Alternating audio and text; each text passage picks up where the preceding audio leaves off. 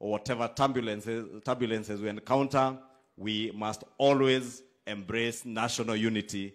Now, Bishop, I want to assure you that that is where all the people of Kenya are. In the spirit of embracing national unity, SHIF ni Social Health Insurance Fund. SHA tusichanganyikiwe, ni kampuni ambayo inaendesha hiyo mambo ya health, inaitwa Social Health Authority, na governor ametuelezea vizuri. And your excellency want to ask now that we have sworn in the deputy president, baadhi ya kazi ambazo utampea kwa IBEC ashikane na hawa magavana ili watusaidie kuelimisha Wakenya mambo ya Social Health Insurance Fund, sababu changamoto tulilo nalo ni watu kuwa hawajaelimishwa ya kutosha, na wakawa wanapotoshwa ile NHIF tulikuwa nayo, na sasa hii SHIF, sababu ni N tu tulitoa tukaweka S ikakuwa social, ili Social Health Insurance Fund vile wewe rais ulituambia ya kuwa serikali utakayounda itakuwa ni serikali ya kumchunga mama mboga, mtu wa bodaboda, na yule aliye hapa chini ainuliwe, asiwe anafinyiliwa. NHIF imetajirisha watu wengi Kenya hii rais, na wale walitajirika ni wenye mahospitali kubwa kubwa, matajiri at the expense ya mama mboga na mtu wa bodaboda. Tunafaa kama viongozi tuwaelimishe Wakenya ya kuwa SHIF inamchunga mwananchi wa kawaida. Yule gavana amesema alikuwa analipishwa shilingi mia tano na mimi kama mbunge nalipa mia tano wengine elfu moja mia saba Sasa mwaka huu mimi na hawa wabunge wetu na hata huyu gavana tunalipa zaidi ya elfu ishirini na saba na mia tano ili mama mboga na yeye alipe shilingi mia tatu peke yake. Sasa kama jameni, mama mboga alikuwa nalipishwa mia tano mimi kama mbunge nalipa kama hiyo. Sasa nilipe elfu ishirini plus mama mboga alipe shilingi mia tatu.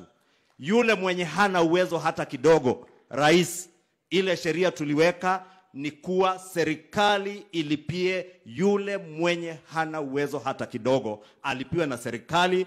Akienda level 2 vile Sakaja amesema, pesa iko pale, hatalipishwa. Nimeona Mombasa juzi mama akitoa ushuhuda, amefanyiwa heart surgery, akawekwa pacesetter free of charge, akalipiwa na SHIF ama SHIF. Hayo mambo rais, ndio ulituelezea ya kuwa utatuletea na serikali yako, na zile sheria tulipitisha tukiwa na hawa wabunge zilikuwa za kuhakikisha ya kuwa wale ambao wako chini wamebebwa na wale ambao wako na uwezo. Shida iliyoko leo, sisi tulio na uwezo ndio tunapata hizi vipaza usauti.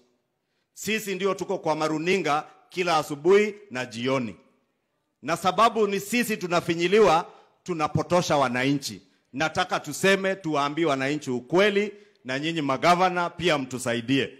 Sakaja amesema vizuri, the primary beneficiaries ya mambo ya SHIF ni county governments na wananchi wa Kenya. Gavana Sakaja ametuambia hapa Mbagathi Hospital, wale watu wote wako Kibra, wako high rise, wakijisajili kwa Social Health Insurance Fund, anapata pesa zaidi kwa kila mtu amejisajili kwa hospitali ya Mbagathi. Ni pesa zinaenda kwa hiyo hospitali ipate vifaa, ipate dawa, mwananchi wa kawaida atibiwe free of charge because that is what we promised the people of Kenya under the universal health coverage program that President William Ruto promised us. Kwa hivyo ningeomba pia tukiwa viongozi tujielimishe, tuelewe ili tuweze kuelezea wananchi mambo yaliyoko ya ukweli. Ukweli si uongo. Si ni vizuri tuwaambie ukweli ili tusiwapotoshe na mambo ya uchochezi, mambo ambayo itakuja iwapoteze nyinyi, sisi tukiangalia yetu makuu. Hata mimi rais, si vizuri kulipa shilingi elfu ishirini na saba na mia tano.